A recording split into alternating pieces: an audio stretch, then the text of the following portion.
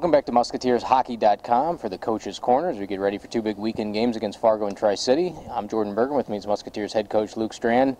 Coach, uh, let's get right into it. Let's first discuss uh, last weekend. You had a great start to the week, 53 shots, played great, uh, you know, ended up being almost 65 minutes of great hockey. Poppy gets the OT winner, and then you just have the tough game against Sioux Falls and and uh, you blow another two-goal lead. And just uh, as you've uh, had a couple days uh, to digest that loss, just what, what, was the most disappointing aspect of that regulation loss uh, against the Stampede? Well, I think the the biggest part for me is you score three goals one way, and then we tried to score four, five, and six, uh, doing something completely different. And when you got a two-goal lead and it's three to one, you don't need another goal to win. You got to do things correctly, and those things slipped from us. And selfishly, I think guys got a little bit hungry for some things to happen, and instead of letting things happen by making a, a Sioux Falls team, you know, get excited or, or, or you know, over pressing.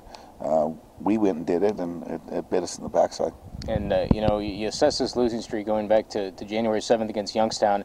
In those 13 losses in those 17 games, you've had the lead in, in, in, seven of those games, and just it's kind of been an epidemic with those blown leads right now. Do you think it's a complacency issue, just guys not being positionally right? Uh, as you take a lead, what do you think's been the biggest factor in that aspect of, of the team's struggles lately? No, I think the, the biggest thing is managing the puck and making sure guys, and at the end of the day, you're going to give up chances, and you got to get some saves when it counts. And uh, both both sides of it. I think we, we got to do a better job in front of our goaltenders, both getting pucks behind their defensemen and behind the other team.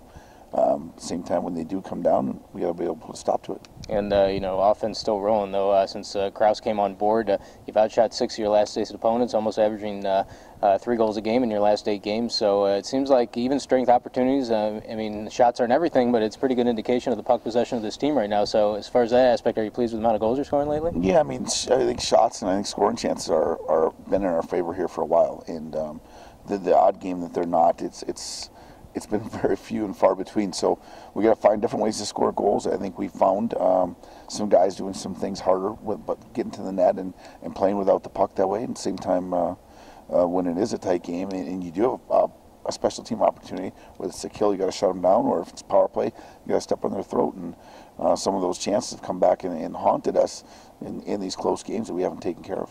And, uh, you know, yeah, just talk about the week of practice, uh, another tough week where you absorb a tough loss, but again, you're doing a lot of good things right. Just as, as points become real precious here, only 16 games left. What's been uh, the biggest message of the guys this week? No, just, you know what, just that. I mean, it's uh, it's about a team being mature. We got to be, we got to grow as a team and, and uh, leads and, and, playing with the lead and playing without a lead are mature factors for a team to grow through. And right now, uh, our group has taken steps forward and then we take a step back, and we, we got to continue to march forward. Otherwise, if we take too many more steps back, it, this will be too late and a couple injury issues. Uh, Jake uh, Suter ended up missing that game against Sioux Falls, played a great game against Tri-City, and then Troy Hesketh, the defenseman that you brought over in late December, suffered a concussion with Chicago. The fans haven't been able to see him. He's a terrific young talent, a third-round pick of the Edmonton Oilers. Uh, what are the two statuses of uh, two-year defensemen for this weekend? Uh, Suits is a little bit, uh, he, I think he's going to get cleared here as the weekend comes closer.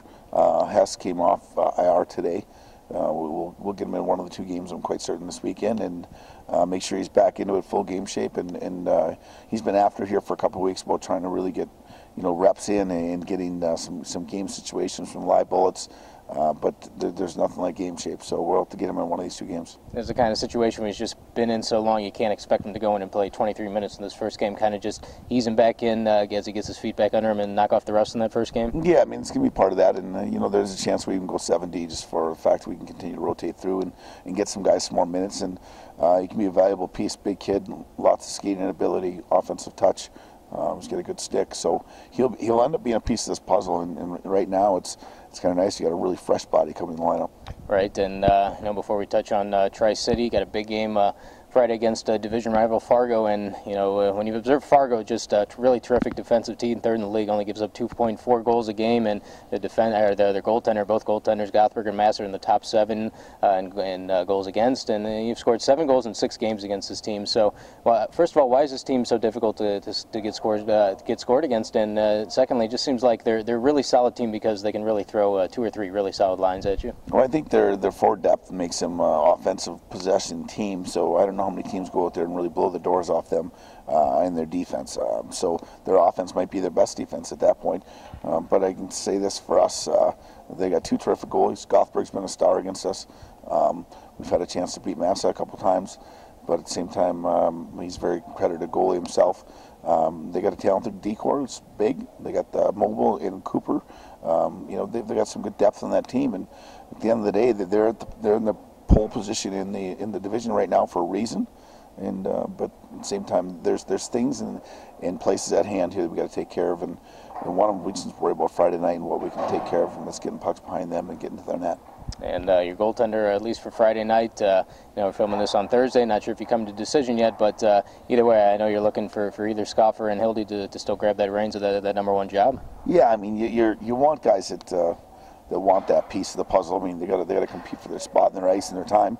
Um, you know, some guys have had success against certain teams and, and others not so much. So that, that's going to go into it. Same time, uh, one of these two have got to got to grab onto this thing. And if neither of them do it, this will be a struggle. If one of them does it, we're going to be in a great spot. Thanks, Coach, and good luck this weekend. Thank you. Musketeers head coach Luke Strand, and come on down to the barn. Uh, first home game since uh, since uh, February 12th against Fargo on Friday night. Puck drops at 7:05 at Tyson Event Center.